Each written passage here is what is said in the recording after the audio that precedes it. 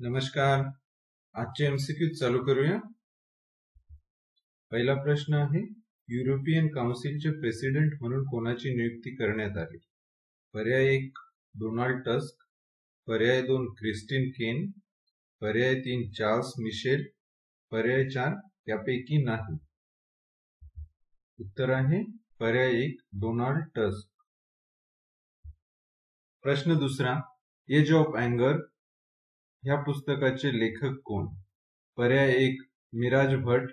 पर्याय दोन पंकज मिश्रा. पर्याय तीन नरेंद्र कुमार. पर्याय चार मसूद हुसेन.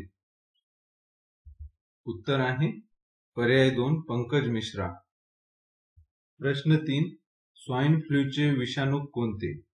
पर्याय एक एच फाईव्ह एच वन. पर्याय दोन एच वन एन फाईव्ह. पर्याय तीन एच वन एन वन पर्याय चार एच थ्री एन वन. उत्तर आहे पर्याय तीन एच वन एन वन. प्रश्न चार डब्ल्यू एच ओ ने मलेरिया मुक्त देश म्हणून कोणता देश घोषित केला? पर्याय एक भारत. पर्याय दोन भूटान. पर्याय तीन म्यानमार. पर्याय चार श्रीलंका.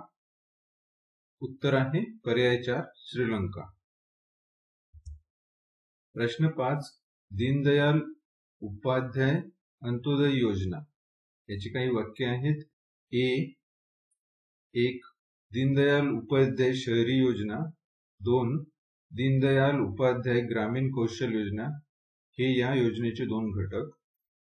बी जीवनोत्ती कौशल्य कार्यक्रम लाभार्थ्याचे वय पंधरा वर्ष ते अठरा वर्ष असेल. पर्याय एक ए बरोबर पर्याय दोन. बी बरोबर पर्याय तीन. ए व बी बरोबर पर्याय चार. ए व बी चूक. उत्तर आहे पर्याय तीन. ए व बी बरोबर.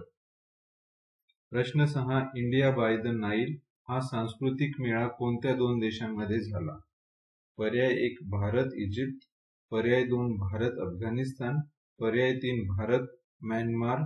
पर्याय चार, भारत, श्रीलंका। उत्तर आहे, पर्याय एक, भारत, इजिप्त। प्रश्न सात, नवीन पटनाईक हे खालीलपैकी कुठल्या राज्याचे मुख्यमंत्री आहे? पर्याय एक, मणिपूर, पर्याय दोन, आंध्र प्रदेश, पर्याय तीन, आसाम, पर्याय चार उडीसा